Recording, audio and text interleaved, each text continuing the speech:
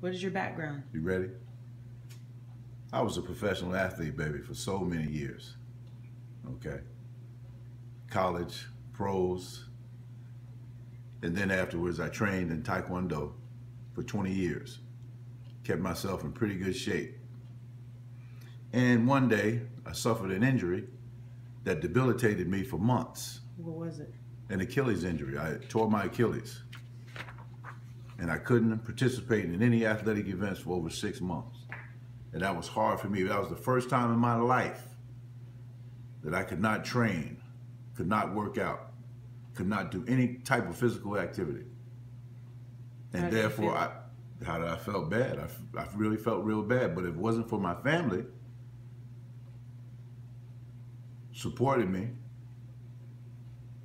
and, and holding me on, holding me to my center, I would have just fell off this earth. But by the grace of God, I recuperated from that injury, started a coaching career as a professional coach. I continued in that field, that endeavor for a while, and uh, kept me going, got me back on my feet again moving around, hey, training, having fun every day, okay? Uh, participating in an athletic event outside, which I en enjoy working outside. And as I started work again, I noticed that I had gained 30 pounds while I was injured and could not participate in any activities. So I maintained that 30 pound weight for a long time. Okay, into my 50s and now my early 60s. Still had some of that weight and but now what didn't you like about your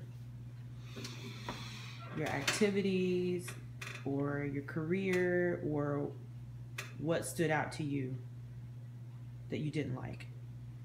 Well, that I was still maintaining that weight, okay, and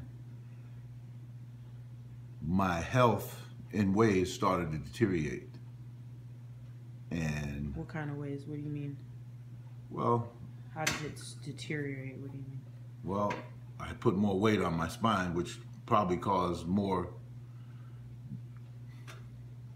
injury to my spine and uh, in a way where I was compressing, it was compressing more from gravity and so forth on. So old injuries or injuries that I had sustained while being a professional athlete started to uh, appear.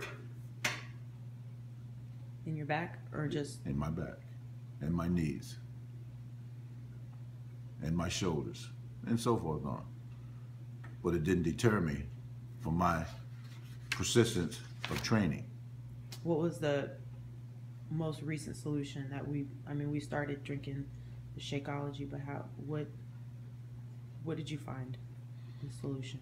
Well, I found that my solution was I needed to lose weight, okay, because I high blood pressure, cholesterol, these things started to come about, and so I had to change my diet and the way I approach my daily life, uh, especially in my diet, and. Uh, what I found out is if I eat right, drink my Shakeology every day, uh, I really don't have to train as hard, but I still have to do somewhat physical activity, you know, to uh, maintain a balance.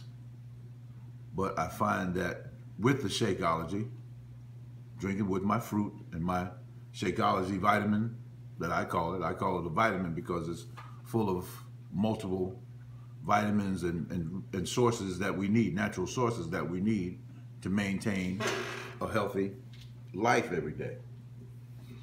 And uh, it has definitely helped so far because I've lost 15 pounds. So, how do you feel about the future? Well, I feel great about the future. I feel feel good about my health and and the future as long as I maintain my discipline and my dedication and my desire to do well.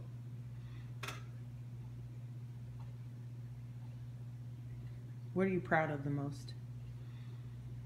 Uh, I'm proud of a lot of things. I'm proud of my family, uh, my wife, my daughter, my son. Uh, their, uh, should I say, uh, pursuit of life's goals and how they're approaching. Uh, these pursuit and life goals, they're doing it in a positive manner and willing to help others to achieve their goals also. So, you know, they're willing to give back. And that's uh, some things that you can be proud of, especially morally. That's a thing that we that we should be proud of, that our spouse or children and family are willing to give back to others, as I do. I enjoy my coaching, uh, not only high school kids, but also professionals and people who need the proper counseling. Uh, I'm happy to uh, give it to them.